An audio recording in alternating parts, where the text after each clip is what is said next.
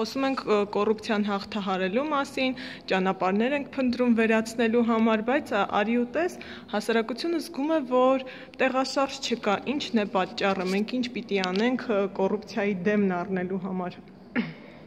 Պատճառը համակարգային է։ Հանրապես նոր զարգացող երկրներին հատուկ է կոռուպցիոն բարձր ռիսկերը եւ առավելապես դա ի հայտ է գալիս խոցելի խմբերի համար, հատկապես առողջապահության ոլորտներում, արդարադատության ոլորտում եւ դրա դեմ պայքարելու լավագույն միջոցը օրենսդրական կարգավորումներն են։ Այսինքն ստեղծել այնպիսի օրենսդրություն, որ հնարավորինս հնարավորություն չտա պաշտոնատարանձին օգտվելու իր դիրքից։ Ինչպես դա կարելի անել։ Բարձ օրինակ ասեմ, եթե հիշում եք, դա իհարկե կոռուպցիայի կոռուպցիայի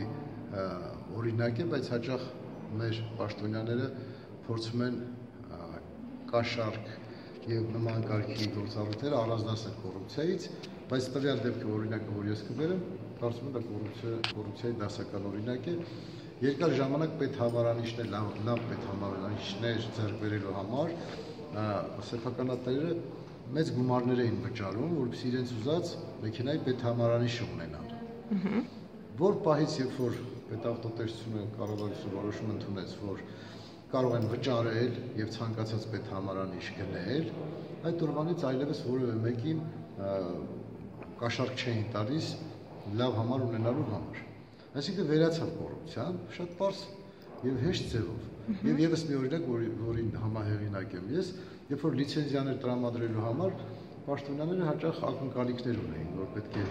համապատասխան վճարումներ արվի, որ նոր տվյալ ոլորտի լիցենզիա տրամադրեն։ Մենք մեկ-երկու ոլորտի համար փորձնական դրեցինք, որ եթե երրորդյա ժամկետում հիմնավորված մերժում չի լինում, այլևս դիմումը համարվում է լիցենզիայի ուժ ունեցող հաստատուղթ, եւ կարողացանք դրանով նաեւ ապահովել,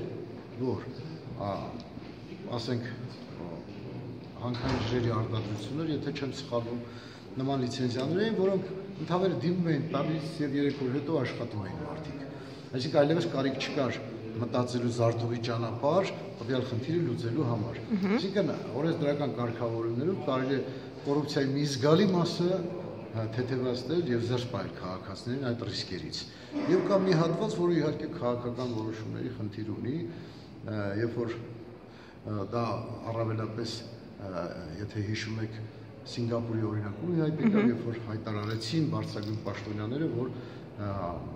եւ օրենքի ուժով եւ բարոյականության ուժով արգելվում է կոռուպցիայով զբաղվել, կաշառք վերցնել եւ այլն։ Եվ դա երբ որ եւ վարշապետը Սինգապուրի հիմնավորում էր հետևել, որ եթե Բարձրաստան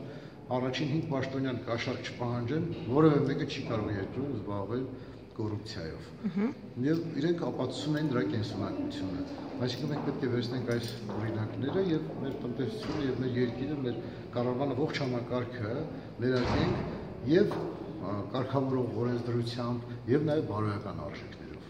Այդպես է, պետք է դրա այդ ճանապարհն անցնել։